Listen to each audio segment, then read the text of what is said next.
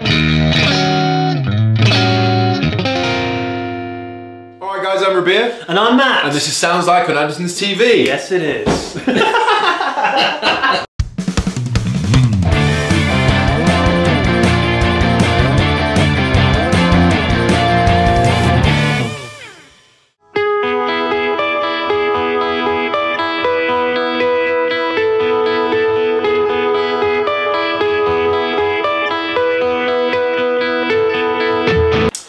okay, is a big day. It is a massive day. It's huge. This is probably the most long period of time requested uh, artist we've ever had on Sound Like. So yeah, today we're going to be sounding like Elvis Presley.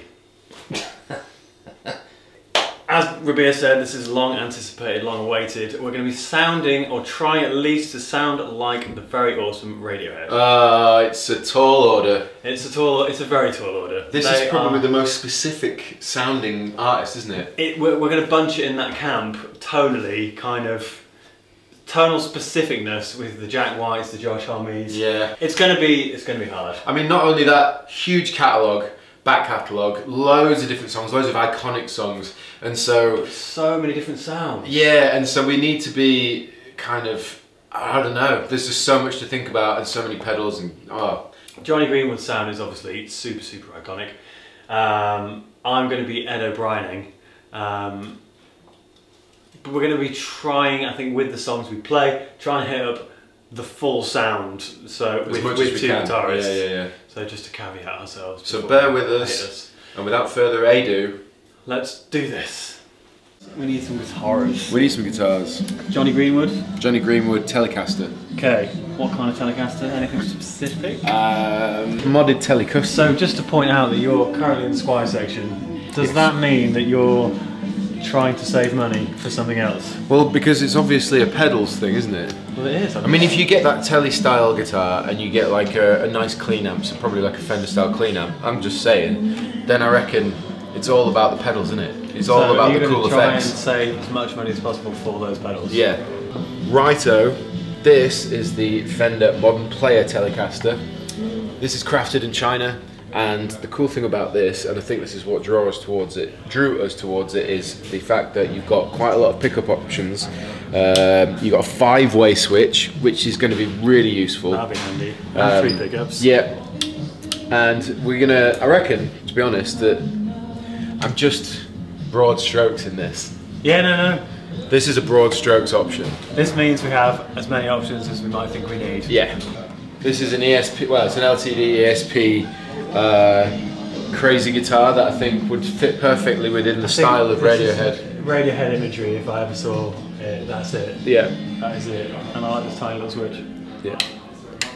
Okay, so for Ed O'Brien, I'm going to go for a Fender Squier Classic Vibe Stratocaster. In the knowledge that he uses, he's got his signature DiMarzio set, I think, in a Strat he has. So I think I might team it with a pickup booster, maybe the Seymour Duncan one, just to give my pickups a little bit of extra bite. Um, but I think a Strat is the option, so that's my plan. Boom. So for about £420 you can get one of these beautiful Classic Vibes in a 50s or a 60s. Amplifiers. Amplification. Amplification. Um, I guess thinking? for Jonny Greenwood, um, it, clean is mega important, and then I think uh, effects and distortion comes not secondary but after. So Fender amp for me, because I think Fender guitar into a Fender amp is a marriage in itself. So I think with regards to budget, this one over here, this is the Champion Champion 40.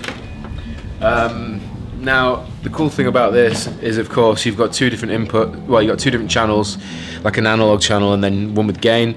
But then you got effects. So you, so we kind of save maybe a touch of money on the fact we've got reverb, delay, we've got some chorus, tremolo, a couple of cool options in here.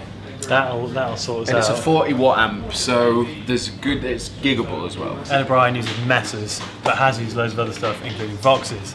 So I'm thinking Probably Vox, so we can mix it up a bit because they have nice uh, clean tones. maybe an AC15. Right, we're on to the pedals, which is the most exciting and most It's the scariest bit. The scary bit because if we get it wrong, then we potentially get it wrong. I'm just going to say, to, to, to begin with, my guitar is about 430 something, and the amplifier is about 150 pounds.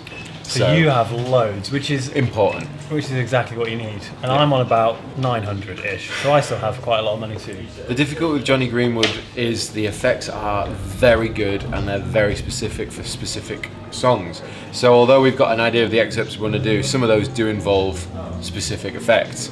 So it's like it is a multi-effects thing. I think It is It's going to have to be. We were listening to tracks earlier, and we thought at some points it feels like there's about three or four effects done together. And Mm. if you're on a budget, without having those individual stomp boxes, and maybe if you wanted a multi effects, it's kind of like you need two or three. yeah. Do you know what I mean? Oh, but I suppose with your amp with some built-in effects. Yeah, I'm gonna say I think Strymon Mobius would be a great shout. Okay. Only because it does have some really weird um, effects that do that kind of. I don't really know what the see my thinking thing. Yeah, basically, it's a very versatile pedal, and we used it for Incubus without busting the bank, and it We delivered. did, It we did, delivered. and that is the kind of it's a similar type of guitarist. Yeah, way- not not to say that Incubus and Radiohead are anything like each other in terms No, of their but it's- guitar stuff, but they're specific effects for specific songs. that, those, those effects make that song and that guitar part. Exactly. So just to fill you in real quick, we actually were going to talk about the new Boss MD500, which is Boss's sort of rival pedal to the Mobius in the sense that it's very, very similar, but a Boss's version. It's more affordable, which is great. Uh, however, it's not in stock. Which isn't great. So we would have saved nearly £100, uh, but unfortunately we can't get that. So looks like the Mobius Maybe it is. probably going to win this. Of course, Jonny Greenwood is massively famous for using Digitech Whammy. Unfortunately, Andertons don't have any in stock. However, they do have the Whammy Ricochet, which is the small Stompbox version, and you can still dial in and achieve that kind of sweeping uh, whammy effect. So I reckon that's probably the best bet. So I've got the Mobius, I've got the Whammy Ricochet. I actually saved about 80 pounds not getting the DT, which is good. Um, I've also got my Fender Champion 40 amplifier, and I've got my uh, Fender Modern Player Telecaster.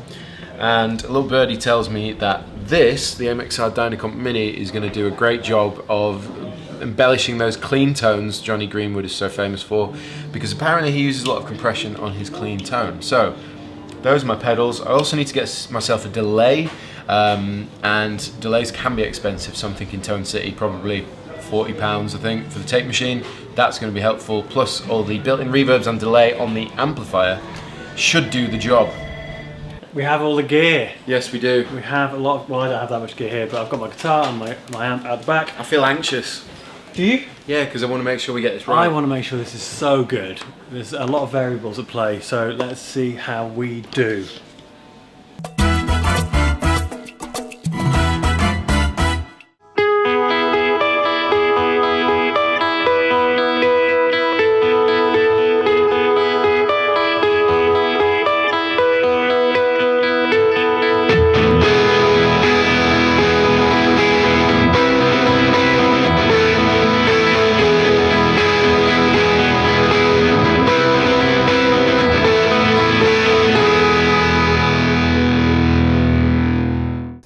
Back in the video room. Yes, we are in this mission to sound like the one and only Radiohead. And it's worth saying eh, we've been here for about three hours getting these sounds. Yeah, so we hope it's worth it and we hope you think we've done all right.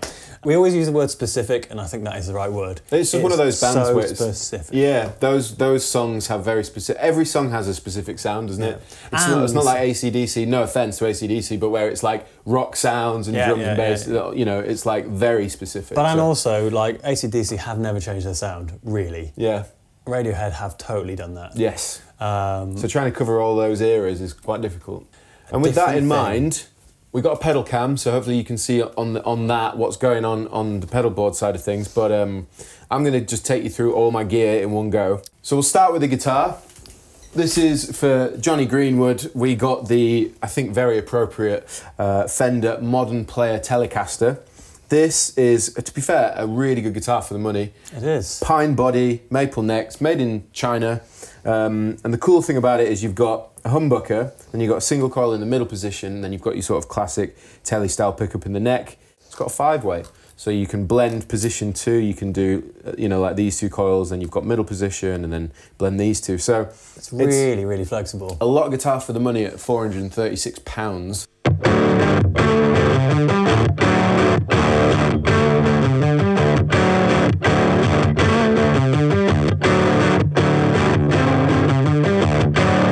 Lovely. And that's going into. the JHS Crayon, which is kind of like it's a bit of a fuzzy style sounding pedal.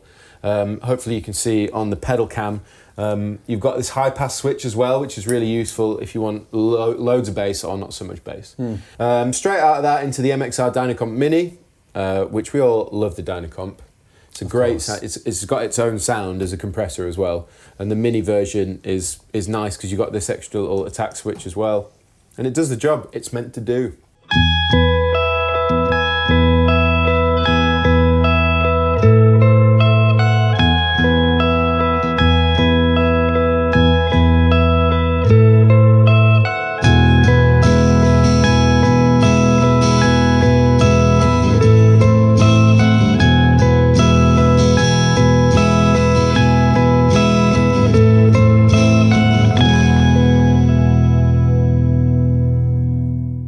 Into the whammy ricochet, which It's a very cool pedal. which to be fair did the job it was meant to do. I mean, That was for my iron lung. yeah. The only I suppose the thing is, uh, it would have been great to get the whammy DT because I think we would have had a little bit more option of the sort of tone of the whammy. And Is that and- the only thing you used it for? Yeah, literally the only thing I use it for. And I'll tell you what, my favourite feature about it is that you can control how fast it goes up to the note you want it to and then how and how slow. So for example, if I then hit just this sound like that, I can actually slow down the, the how long it takes to get there. So how cool is that? And again on the way down, so I can go This is cool.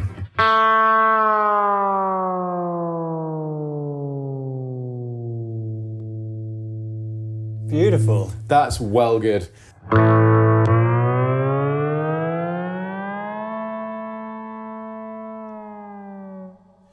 So yeah, so that's the whammy ricochet. Uh, I think, I suppose, because we use it for the one specific moment in the song, uh, it did the job it was meant to do.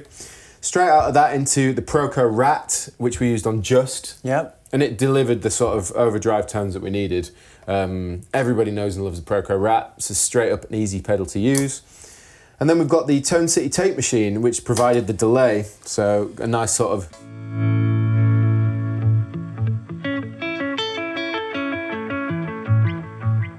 Which is cool. It, it- you know, it delivers a delay sound that's nice and warm and not too digital, which I like. And then finally, uh, the Strymon Mobius, which is the most expensive pedal that we used for me. Well, it's Um, four, over 400 pounds, It is over 400 but it can do everything modulation related.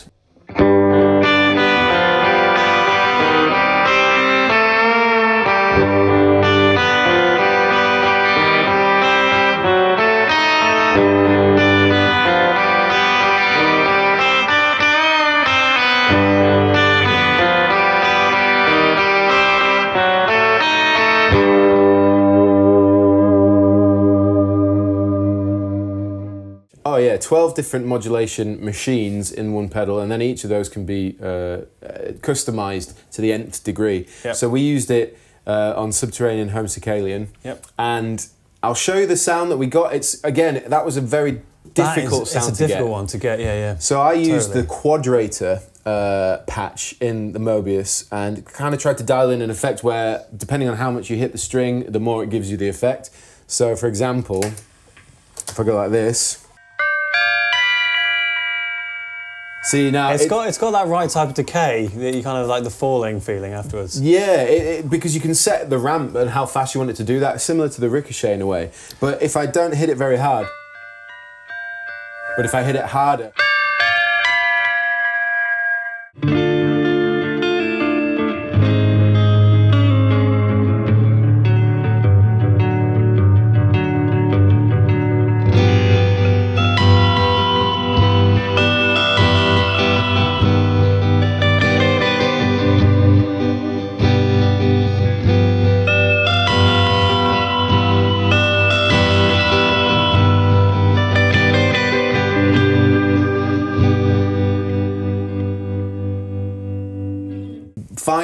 Champion 40 by Fender. It's a little solid state 40 watt amplifier with built in effects. I use the reverb in this quite a lot actually. Um, and I used it into the analog input, so literally just volume and then you've got bass, middle, and treble, and that's it. And to be perfectly fair to it, it delivered a great sounding clean that was a great platform for any pedal we wanted to stack on top. There you go. There you go. Well, next is my rig. And as I said in the store, this is kind of a loosely based on Ed O'Brien's rig, but it's also just a super flexible, supportive rig roll. Um, I didn't actually go classic vibe either. I settled on this, which is a Fender standard HSH Strat, which is made in Mexico. And these are brand, brand new, so it's got the Pau Ferro, not rosewood board. Um, the cool thing about this, again, it's all about flexibility. And reading about Ed O'Brien's rig, he has changed amps, guitars, pedals like a gazillion, gazillion times. Um, so I just wanted something that would sound good. so this is the guitar, and it is HSH, but you can split here on the tone um, and split the coils, so it sounds more stratty. So Yeah. that was really good. That runs directly into the OD3. Um, I did read Ed O'Brien uses an OD1, but this was the closest we could get. So that's kind of more for the kind of high gain rhythm tones. And then the pickup booster, that was the idea there is to try and replicate his DiMarzio's in his Strat um, by making just giving them a little lift. Um, so that's just set on about a quarter. Um, and then this is the Boss GT1, which is a multi effects thing, new from Boss. And this kind of does everything, you know, as they do. Yeah. Bit of distortion, it's got all my delays, reverbs, modulations, everything.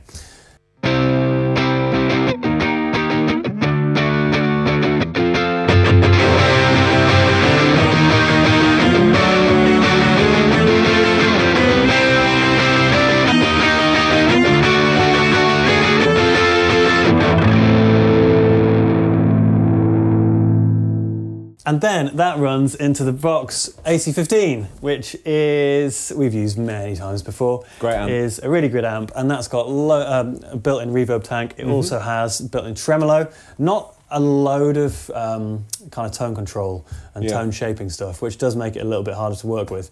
But because the guitar is quite versatile, that was kind of bounced out a bit. Mm.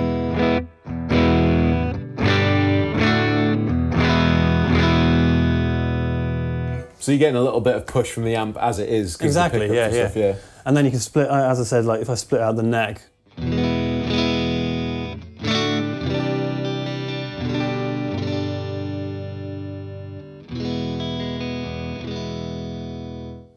So yeah, you get Strat sounds pretty easily. And then with the pickup booster in, which I kind of had in most of the time,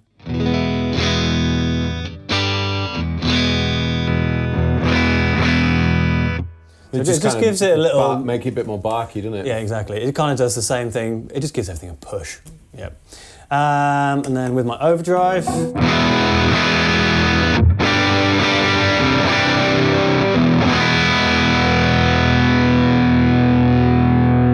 That actually sounds really nice. So yeah, that kind of gives you the old school Radiohead kind of drive sound. It's nice and saturated. I quite like the way it sounds. You can hear all the notes in the chord. So the, I mean, love them or hate them, but the acoustic simulator is great. And these Boss GT1s are only about 150 quid, I think. So yeah, it's just handy without, you know. Uh, to be fair, having like compressors, overdrives, different modulations, delays, reverbs that are all programmable me- to a bank is pretty impressive for 150 quid.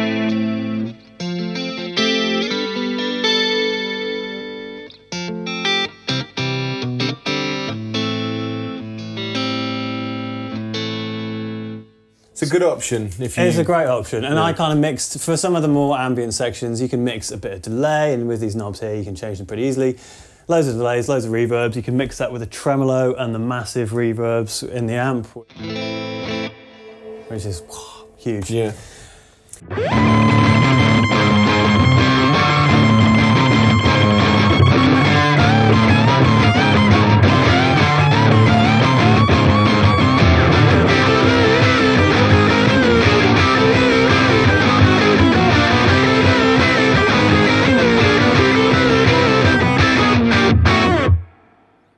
I think in in general, um, it's it's just a very difficult artist to replicate, especially when it's, you, you're extracting just the guitars from the the whole arrangement. But I think with these rigs, you can get pretty close. If you're a fan of Radiohead and you want to get those kind of tones and you want to start experimenting with that kind of sound for your own band, then any element of this will will give you an essence of Radiohead in one in some capacity. But it is one of those things that's so versatile, both of them, that you can just you can play a lot of stuff Oh, with, yeah. with these kind of rigs. So there you go. That is how to sound like Radiohead uh, without necessarily busting said bank. Yes. and I guess we really, really hope that you like it. And we hope we've done them justice. And at some point, we will do a buy bust. I'd love to do a buy busting where there's just no limit It'll be one of those where we can get, let's get all the proper pedals Yeah. for all the proper sounds. And um, we could even stack a Mobius on top of a Mobius.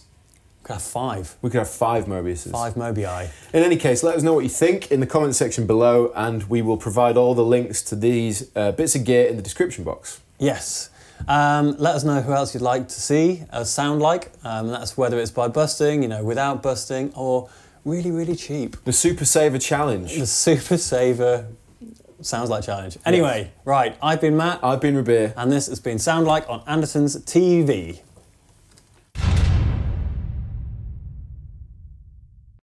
Hey everybody, thanks for watching the Andertons Guitar YouTube channel. If you're a drummer or a keyboard player or interested in music technology, you might find one of our other channels interesting and I'll put details of those in the description below.